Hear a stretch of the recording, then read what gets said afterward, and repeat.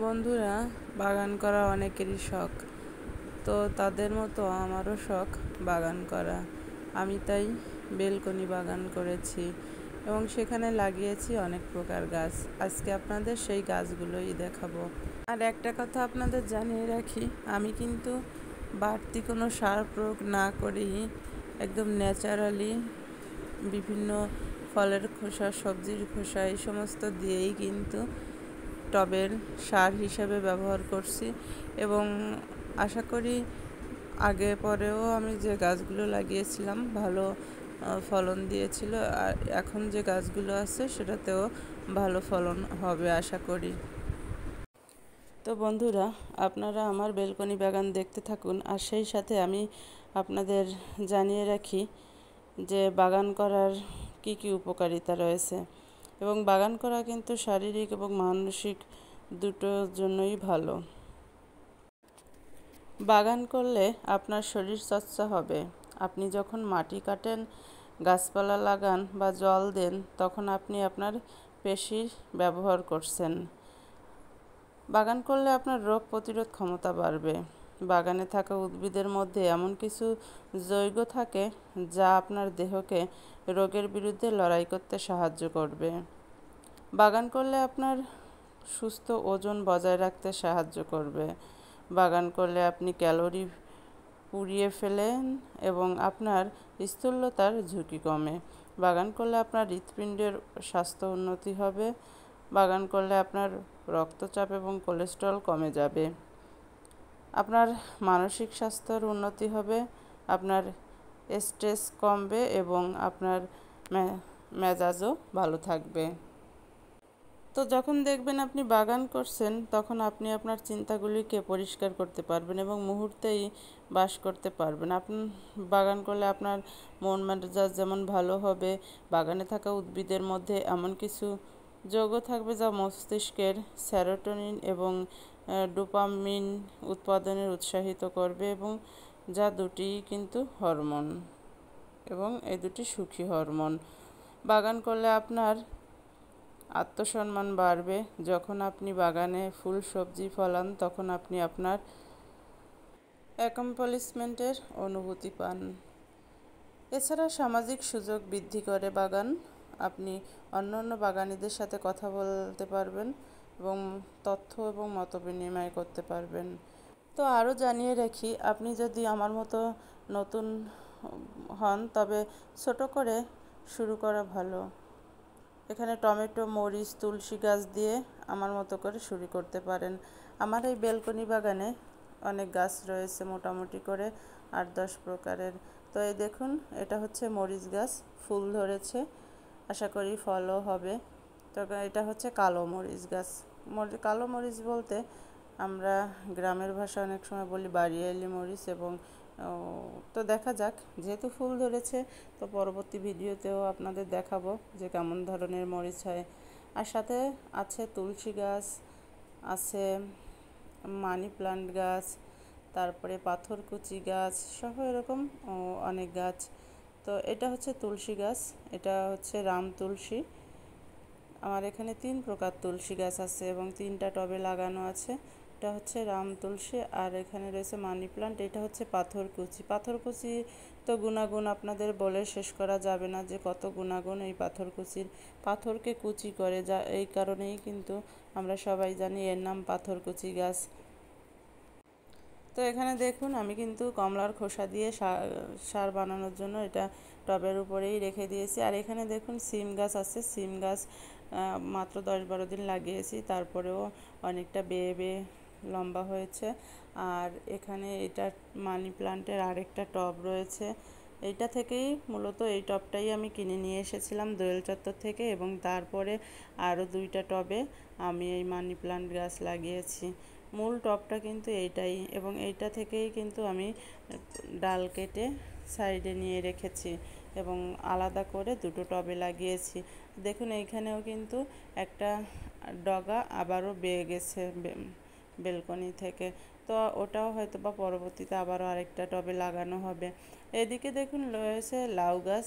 লাউ গাছের বয়সও তেমন বেশি দিন না, দশ বারো দিন হয়েছে। তারপরেও যেহেতু আমি চারা কিনে এনেছি তো সেহেতু গাছটা মানে দেওয়ার সাথে সাথে একটু লেগে গেলেই দুই, তিন দিনের মধ্যে এভাবে বেয়ে গেছে এবং অনেকটাই বেয়ে গেছে। আশা করি পনেরো, বিশ দিনের মধ্যে ফুল ধরবে। এছাড়াও এখানে কিন্তু আরও গাছ রয়েছে। তো দেখুন, লাউ গাছের এই টবে কিন্তু যে শুধু লাউ গাছ লাগিয়েছি তা কিন্তু নয়। আমি যখন বাসায় যখন সবজি কাটি তখন বিভিন্ন সবজির বীজও কিন্তু এখানে আমি পুঁতে রাখি। তাই সেই জন্যই কিন্তু এখানে আমি করলার বীজ পুঁতে রেখেছিলাম এবং সেই করলার বীজ থেকেই কিন্তু এখানে গাছ ধরেছে এবং গাছগুলো অনেকটা ঝাপটালু হয়ে আসছে। আশা করি আবারও এখানে হবে, ফল হবে, করলা হবে। তো আগেও করলা হয়েছিল এবারও হবে। আর সাথে কিন্তু ওই টবে আরও মরিচের একটা চারা রয়েছে। আর এইটা হচ্ছে তুলসী গাছ। আমার এইটা হচ্ছে বড় তুলসীর যে টব, এই তুলসীর টবটায় আমি অন্য আর কিছুই লাগাইনি। শুধু তুলসী গাছই এটা লাগিয়েছি। তার কারণ হচ্ছে তুলসী পাতা অ্যান্টিব্যাকটেরিয়াল একটা যেটা আমার সবসময় কাজে দেয় এবং তুলসী ঠান্ডা কাশি জান যে ভালো করে। আর আমার এই তুলসী গাছটা যে টবটা আছে, এটা থেকে অনেক পাতা আমি নিয়েছি। আমার বাবুকে খেয়েছি, আমিও খেয়েছি। এবং দেখা যায় প্রতিদিনই পূজা সহ অন্যান্য কাজে তুলসী চা, তুলসী পাতার রস, বিভিন্ন কাজে কিন্তু এই টবটা থেকেই আমি পাতা ব্যবহার করি। তো এই দেখুন, এখানেই কিন্তু মূল এবং অল্প জায়গায় এবং ওইখানে দেখুন একটা বেগুন গাছ রয়েছে, এটাও কিন্তু আমার কেনা গাছ। তো বন্ধুরা, অল্প একটু জায়গার মধ্যে কীভাবে এত সব লাগালাম, তাই আপনাদের আজকে দেখালাম। আসলে বেলকনিতে এভাবে টবে করে কিন্তু অনেক অনেক প্রকার ফল, ফুল সহ সবজি চারাও লাগানো যায় এবং সেটা থেকে ভালো, মোটামুটি ভালো ফলন হয় যেটা নিজেদের খাবারের চাহিদা মিটিয়ে থাকে। আরেকটা কথা না বললেই নয়, বাগান করা সকল বয়সের মানুষের জন্যই উপকারী। বাগান করলে শরীর ও মন উভয়ই ভালো থাকে। এটি শারীরিক কষ্ট করতে বাধ্য করে, যা শরীরকে সুস্থ রাখে। সাথে সাথে বাগানের প্রকৃতির সংস্পর্শে থাকা মানসিক শান্তি দেয়। তাই শরীর ও মন উভয়ের জন্য কিন্তু বাগান করা খুবই ভালো। আর খুব সহজেই শুরু করা যায় এবং সকল বয়সের মানুষের জন্যই উপযুক্ত বাগান করা। এভাবে বাগান যে শুধু বেলকনিতে করা যায় তা কিন্তু নয়, বাড়ির ছাদে, আলাদা খোলা জায়গায়, আর শুধু যে এই সমস্ত টব দিয়ে তা কিন্তু না আপনি চাইলেই প্লাস্টিক সহ বস্তা বা অন্যান্য যে কোনো জিনিস দিয়েই যাতে একটু মাটি ভালো করে পুড়ে রাখা যায় এবং যে জলটা আপ ডাউন করার জন্য জায়গা রাখা হয়। তো এইভাবে করেই কিন্তু আপনি বাগান চাষ বাগান করতে পারেন। ছোট বাগান তো বাগানই ছোট। অল্প পরিসরেও কিন্তু এটা করা যায়, যেটা আমি করেছি। এবং আজকাল কিন্তু শহরে এভাবেই দেখা যায়, প্রত্যেক বাসা ছাদে কিংবা বেলকনিতে এভাবে সবাই গাছ লাগিয়েছে। গাছ কিন্তু আমাদের যেমন প্রাণ বাঁচায়, তেমনি সতেজও রাখে। বন্ধুরা, অনেকের মনে অনেক প্রশ্ন থাকতে পারে যে, বাজারে এত সার থাকতে আমি কেন এই যে সবজি, ফলমূলের খোসা দিয়েছি টবগুলোতে তো এখানে কিন্তু কলার খোসা সহ কমলা লেবু, পেঁপে অনেক সবজির খোসা এবং ডিমের খোসা পর্যন্ত আছে।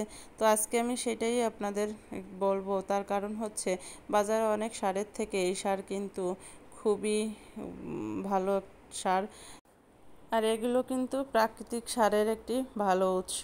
তাই কিন্তু আমি প্রতিদিন এরকম করে কলার খোসা সহ বিভিন্ন সবজির খোসা আমি সবজি কাটার পরে ফেলে না দিয়ে এভাবে রেখে দিই এবং বিভিন্ন টবে এভাবে দিয়ে দিই। এতে করে দেখা যায় গাছগুলো পটাশিয়াম, ফসফরাস, ক্যালসিয়াম ম্যাগনেশিয়াম এগুলোর যে একটা ঘাটতি থাকে সেটা কিন্তু পূর্ণ হয়ে যায়। আপনারা সবাই জানেন যে কম্পোস্ট সার, বিভিন্ন ফলের খোসা, ডিমের খোলা চা পাতা ইত্যাদি দিয়ে কিন্তু কম্পোস্ট বা সার তৈরি করতে পারেন। এতে কিন্তু আর তেমন কিছু মিশানো লাগবে না। শুধুমাত্র এভাবে টবে রেখে দিলেই কিন্তু কিছুদিন পরে সার হয়ে যাবে।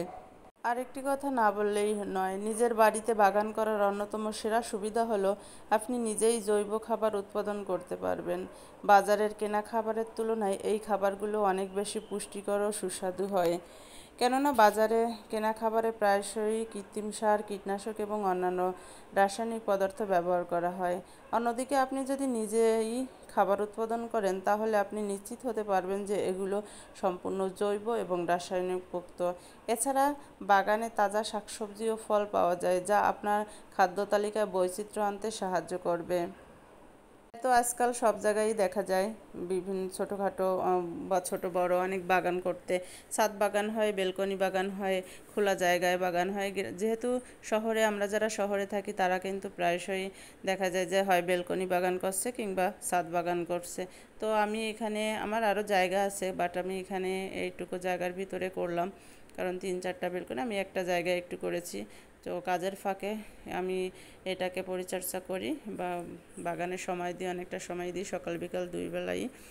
আর একটা কথা, বর্তমান বাজার যে সব কিছুর মূল্য যে এত বেশি, বিশেষ করে সবজি থেকে শুরু করে ফল ফলাদি সেক্ষেত্রে আপনি যদি এভাবে বাগান করতে পারেন, তাহলে দেখা যায় প্রচুর অর্থ সাশ্রয় করতে না পারলেও, কিছুটা হলেও অর্থ সাশ্রয় হবে। যারা বড় ধরনের বাগান করেন, তো তাদের তো প্রচুর অর্থ সাশ্রয় হবে। শিশুদের মনের মাটিতে জ্ঞানের বীজ বপনের জন্য কিন্তু বাগানের চেয়ে ভালো মাঠ আর কিছুই হতে পারে না। কারণ রঙের ঝলকানি, মাটির স্পর্শ, প্রকৃতির সান্নিধ্য সব কিছুই তাদের মনকে উন্মুক্ত করে শেখার প্রতি। কচি সবুজ পাতা থেকে টুকটুকে লাল ফুল, প্রতিটি গাছই রঙের এক অপূর্ব মেলবন্ধন। এই রঙের সমারোহ শিশুদের রং চিনতে, নামকরণ করতে এবং সেগুলো দিয়ে নিজের ছবি আঁকতে শেখায়। রঙিন কাগজ দিয়ে ফুলের নকশা, পাতা দিয়ে কোলাস তৈরি করতেও তাদের উৎসাহিত করা যায়। বাগানে বিভিন্ন ফল ও সবজি গাছ লাগালে সেগুলোর নাম শেখা আরও মজার হয়ে ওঠে। চারা লাগানো, গাছের যত্ন নেওয়া, ফল কাটা, এই প্রত্যেক কাজই তাদের জন্য এক অভিযান। এছাড়া এখান থেকে বিভিন্ন ফল ও সবজির নাম তারা শিখতে পারে। আর যখন তারা বাজারে যায়, বিভিন্ন ফল বা সবজি দেখিয়ে তারা নাম জিজ্ঞেস করে, মজাও দ্বিগুণ পায়। আর এছাড়া বাগানে তো খেলা চলতেই থাকে। শিশুদের মালিকানা দায়িত্বের গুরুত্ব বোঝাতে শেখে এবং পরিশ্রম ও দায়িত্ববোধ জাগিয়ে তোলে। এমনকি যে ফসল কেটে তা দিয়ে খাবার তৈরি করতে পারলে তো তাদের আনন্দই আকাশ ছুঁয়ে ফেলে। এছাড়া এ বাগান তৈরির ক্ষেত্রে শিশুদের সুবিধা, যেমন আরও সঠিক খাবারের গুরুত্ব এবং অপচয় রোধের ধারণা তৈরি হয় এবং পরিশ্রম এবং যত্ন নেয়ার যে পাঠটাও সেটাও তারা শিখে ফেলে। বাগান করা যে শুধু সবজি ফলায় না, শিশুদের মনে ফোটায় জ্ঞানের নানা ফুল। রং, ফল ও সবজির নাম শেখা থেকে শুরু করে গণনা, মালিকানা, দায়িত্ব, স্থায়িত্ব এবং সংরক্ষণের ধারণা সব কিছুই শেখে তারা, এই ছোট্ট বাগান থেকে। তাই পরিশেষে বলব, বাগান করা শুধু যে একটি শখ, তা কিন্তু নয়। এটি আপনার জীবনকে সমৃদ্ধ করে তোলার এক অসাধারণ উপায়। প্রাকৃতিক সান্নিধ্য, সবুজের সমারোহ, নিজের হাতে ফলানো সবজি ও ফুলের আনন্দ, এই সব কিছুই আপনার জীবনে নতুন করে প্রাণের সঞ্চার করবে, যেটা আমি বুঝতে পারি। আপনি যদি এখনও বাগান করতে শুরু করতে দ্বিধাবোধ করেন, তাহলে আজই শুরু করুন। বিশ্বাস করুন, আপনিও হতাশ হবেন না। আমিও প্রথমে ভাবতাম তো ব্যালকনি কীভাবে লাগাবো? থাক, লাগাবো না। তো এরপরেই একদিন দেখলাম আমার সামনের বিল্ডিংয়ে যে গাছ রয়েছে, অনেকগুলো ফুলের গাছ, ফলের গাছ, তো সেই থেকেই আমারও অনুভব হলো যে না, আমিও পারব, আমিও। তো সেই হিসেবে হতাশ হবেন না, হতাশ না হয়ে শুরু করেন। দেখবেন মন ভালো থাকবে এবং নতুন নতুন সব কিছু যে ফল, সবজি উৎপাদন করতে পারবেন। তো বন্ধুরা, আজকে এই পর্যন্ত। কেমন লাগল আমার বেলকনি বাগান? অবশ্যই কমেন্টসের মাধ্যমে জানাবেন। আর যারা চ্যানেলে নতুন, চ্যানেলটি সাবস্ক্রাইব করে বেলাইকনটি বাজিয়ে দেবেন। আর যদি পোস্টটি ভালো লেগে থাকে, তাহলে অন্যদের সাথে শেয়ার করতে ভুলবেন না। আরও অনেক আকর্ষণীয় পোস্টের জন্য নিয়মিত আমাদের ইউটিউব চ্যানেলের সাথে থাকবেন। তো ধন্যবাদ সকলকে।